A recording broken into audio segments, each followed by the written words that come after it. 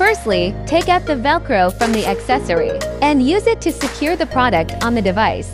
Secondly, connect the red and black signal wires to the correct position. Finally, the product can function normally.